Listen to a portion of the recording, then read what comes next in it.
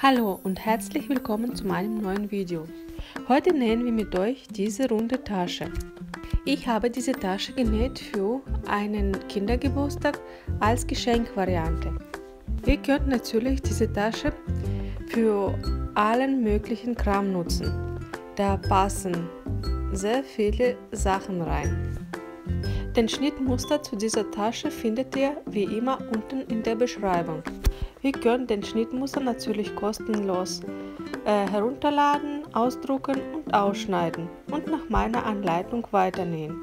Ich wünsche euch viel Spaß beim Nachnähen. Und nachdem wir den Schnittmuster ausgedruckt und ausgeschnitten haben, schneiden wir vier Hauptteile aus dem Stoff zu. Zweimal spiegelverkehrt für Außentasche und zweimal spiegelverkehrt für die Innentasche. Danach schneiden wir noch zweimal den äh, Tunnel für die Kordel oder einen Band zu. Zuerst nehmen wir unsere zwei Rechtecke und bearbeiten diese wie folgt. Einen Zentimeter äh, auf die linke Seite falten, diese fixieren und mit der Nähmaschine knappkantig abstecken. Danach ähm, die in der Mitte falten und äh, ausbügeln.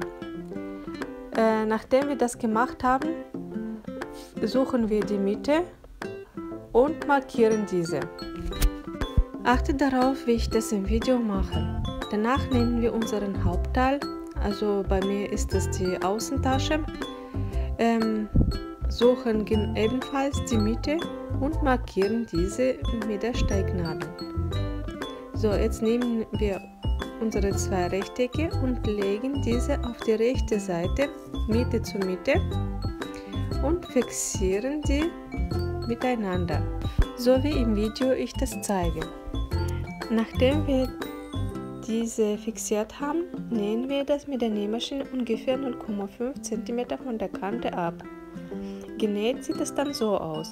Jetzt nehmen wir unsere Innentasche und legen das rechts auf rechts aufeinander und fixieren diese ebenfalls. Mit der anderen Seite von der Tasche machen wir genau das gleiche.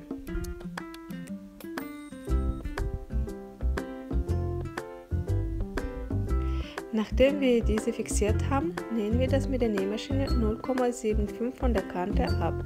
So sieht das nach dem Nähen aus. Jetzt schneiden wir unsere äh, Nahtzugabe ungefähr auf 0,5 cm und legen das wie folgt aufeinander. Rechte Seite auf die rechte Seite, die Nähte müssen aufeinander anliegen. Diese fixieren wir zuerst einmal an den Nähten und dann rundherum. Dabei nicht vergessen eine Wendeöffnung von ungefähr 7, äh, 5 bis 7 cm freilassen. Das Ganze dann steppen wir mit der Nähmaschine auf 0,7 cm ab.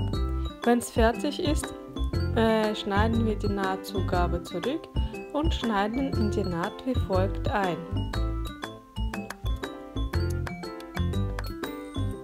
Nachdem es fertig ist, wenden wir das durch unsere Wendeöffnung auf die rechte Seite. Danach die Naht ein bisschen ausrollen, die Wendeöffnung legen wir wie folgt ineinander und fixieren diese erstmal mit den Stecknadeln. Danach könnt ihr diese entweder mit dem Matratzenstich schön zunähen oder wie ich das gemacht habe, mit der Nähmaschine knappkantig abstecken. Äh, die Tasche bügeln wir danach äh, richtig gut aus und äh, legen sie wie folgt ineinander. An dieser Stelle ist unsere Tasche schon fast fertig.